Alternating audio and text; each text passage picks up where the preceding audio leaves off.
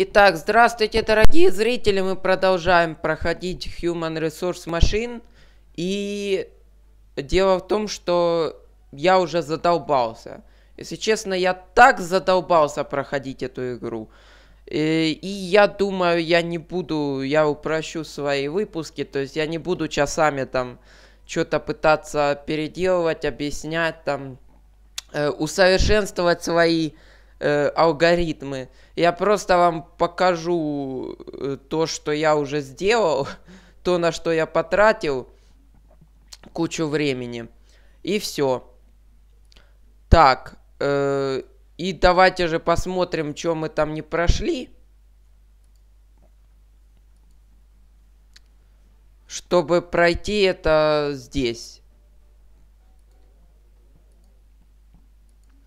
То здесь 23, значит 22, 23. Это у нас 23 э, последний.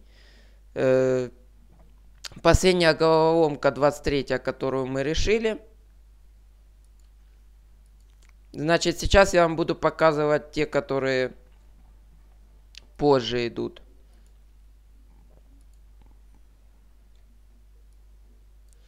Вот, 24, 25, 26. Это то, что я вам сегодня покажу. Э, это будет недолго, потому что, опять же, я мало буду рассказывать. Вот, как вы видите уже, как это выглядит. К тому же здесь сама система не очень сложная. Ну как, то есть, чтобы ее, до нее догадаться, это, конечно, нужно какие-то силы затратить. Однако, не то чтобы сильно. И снова здравствуйте. Сколько рабочих часов может уместиться в один день? Недостаточно. Всегда есть печальное напоминание о нерабочих часах. Хорошо, что всегда можно прийти на необязательную ночную смену, чтобы поработать подольше. Да, э, ну, это продолжение офисного юмора о том, что типа я пришел сюда, потому что очень люблю работать. И действительно. То есть э, вот это вот, э, ну, не в таком виде, конечно, а в виде текста это такими вещами, то есть набирая вот эти вот подобные... Нет, ну, не это, но эти же команды, но на ассемблере, то есть там они немножко отличаются – однако по принципу действуют сходно. Э, набирая вот это вот, некоторые люди зарабатывают. Ну, сейчас довольно мало таких людей, потому что сейчас программируют, э, опять же, на более высокоуровневых языках программирования. Однако ассемблер это такая штука, которая очень-очень ценна. Те, кто его знают, это, скажем так, боги программирования фактически. Ну, да, боги не боги, но знать его довольно сложно в том плане, что нужно уметь из э, вот таких вот простейших команд не то, что там какие-то сложения, вычитания производить. Это прикиньте, то есть это мы только будем производить какие-то операции с числами. А есть ведь еще более сложные задачи. То есть можно игру на ассемблере написать. Это будет, конечно, очень геморно, но это возможно. И вот прикиньте, что э, человек, который в состоянии из машинного кода фактически написать какую-то игру, этот человек, он, он бог программирования, я считаю потому что он делает что-то из ничего. Хотя, опять же, высокоуровневые языки программирования, у них э, просто команды подразумевают под собой какой-то набор команд ассемблера. То есть, понимаете, в чем прикол, что э, они просто упрощают все. То есть у них есть команды, которые используют разные комбинации вот таких вот целого, целых наборов команд макросов ассемблера. И таким образом эти макросы, действуя определенным образом, э, они, э, ими можно быстрее оперировать. А если мы можем быстрее оперировать, то, следовательно, легче писать программы. Э, их недостаток, опять же, как я сказал, что они менее разнообразны, разносторонне функциональны. Опять же, я это рассказываю для тех, кто не знаком с программированием, но смотрит вдруг мое прохождение. Мне уже, короче, там прилетело несколько дизлайков на мои видео. Э, в общем, ну вы поняли. Ничего нормального на ютубе залайкать не могут. Нет, могут, но тоже дизлайки будут. И всегда будут, потому что пидорасы. Да. Пидорасы и все. Дебилы, блядь. Вот так вот. Э, так вот, вот такая вот программа, то есть, э, что мы, нам нужно получить. Для каждых двух вводимых вещей вы видите остаток, который получился бы в результате деления первого числа на второе. Не волнуйтесь, делить вам в самом деле не придется. И да, забудьте на время об отрицательных числах. Ну да, потому что с отрицательными числами эта схема ломается просто-напросто. Но отрицательные числа, возможно, нам дадут команду э, инверсию, хотя тут есть команда инверсия, тут, то есть, оно и получается вот SAP. Это команда инверсии. То есть, э, сейчас посмотрим. Вот видите, он два инбокса, сейчас э, первое число в 0, второе в 1. И сейчас будет э, сабить одно из второго. Видите, 1. И вот так вот получается.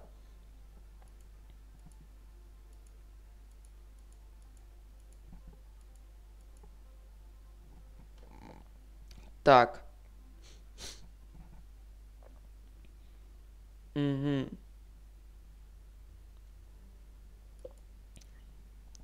Так, ну и...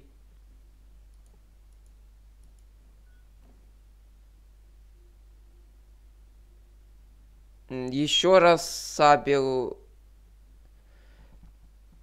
из двух три. Ну да, это второй раз. И когда оно уходит в минус, мы добавляем один. Плюс три. А, и outbox. Стоп. Ага. Да, остаток. Ну да. Тогда все правильно.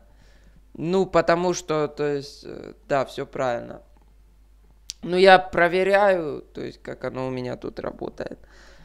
Э, то есть, если бы, конечно, делить нам тоже придется, просто почему я такой подозрительный.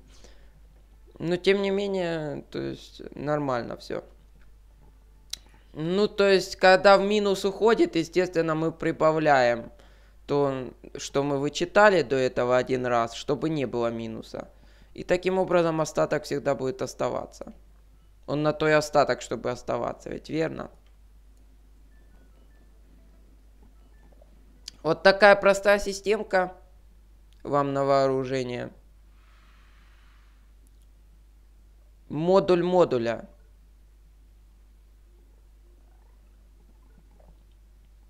И причем это полностью оптимальная схема. Я не понимаю, там типа вычислено, что вот э, такое-то количество надо пройти. Но на самом деле э, э получается так, что мы э, эффективнее, чем они предусмотрели. А как они предусмотрели? То есть, э, да, там можно что-то, конечно, намутить. Но здесь тоже можно было еще больше намутить всяких команд. Э, да везде можно было намутить, но здесь при том, что довольно-таки все оптимизировано, все равно у меня получается, то есть нету ни одной звездочки. А здесь при том, что довольно-таки очевидные вещи там я сделал, оно получилось очень даже, ну, оптимизировано. Накопительный отсчет, 25 год. Для каждого вводимого числа вы видите сумму его самого и всех чисел вплоть до нуля. Например, если на ввод подается 3, то вывести следует 6. Так как 3 плюс 2 плюс 1 – 6. А, ясно. Интересно, как-то это я забыл называется. По-моему, факториал или что-то вроде того. В чем смысл этого задания? Вот и я думаю. Да, смысл ясен. Довольно-таки простое задание. Я думаю, что оно как-то связано с вычислением объема пространства под лестницами. Все может быть. Хотя... А, да! Слышь, ты прав. Короче, то есть, например, э, под лестницей, ну, если именно там внизу получается вот такая вот ступенчатая лестница. Э, и там получается кубики вот эти вот. И объем этих кубиков сначала один кубик, потом два в высоту, потом три и так далее. Это получается лестница. Ну, если вы представите это, если у вас есть фантазия, то вы поймете, о чем я.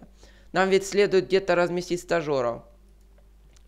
Так или иначе, вот такая простая схемка. Берем, потом если 0, то выводим, если нет, то складываем. И опять же прыгаем, пока до нуля не дойдет. Когда на, до нуля, то на Outbox все выводим.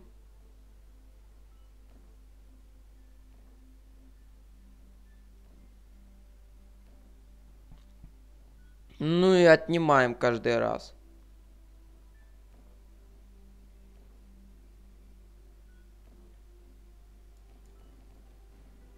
Все, короче.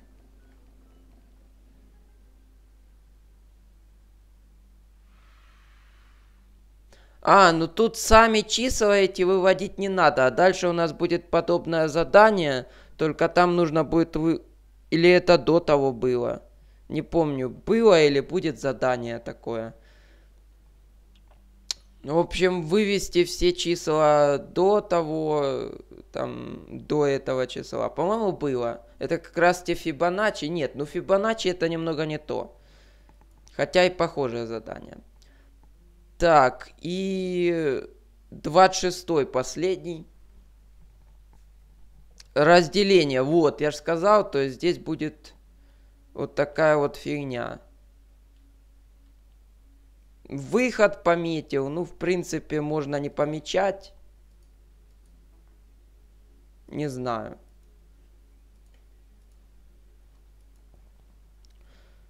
Однако это выход. И снова здравствуйте. Помните, как-то раз я вам говорила, что делать не обязательно. Так вот, теперь придется. Ну да. Я же сказал, что будем делить.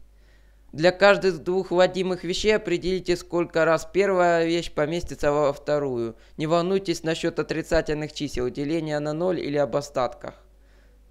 А ноль тут-то есть. То есть, в принципе, не волнуйтесь о делении на ноль. Вообще-то надо волноваться. Тут есть ноль. Совет для самосовершенствования. Это отличная возможность для того, чтобы попрактиковаться в копировании программ с предыдущих заданий. И да, здесь много есть предыдущих заданий у нас. Например, здесь используется 0, вот этот готовый, потому что без него не обойдешься. Также здесь, ну, два числа, потом идет э, первое копируем, вычитаем из первого второе. Если получилось негативное, джампимся сюда. Если нет, то э, копируем то, что получилось в первое. Э, потом э, прибавляем к нулю. То есть это вот то, бамп 0, это вот выход наш. Это сколько раз поместилось первое во второе. Если же негативным стало, то значит нужно вывести из выхода э, выход. На самом-то деле довольно простое задание, его, по крайней мере, объяснить можно. В отличие от многих других. Бах. Бах.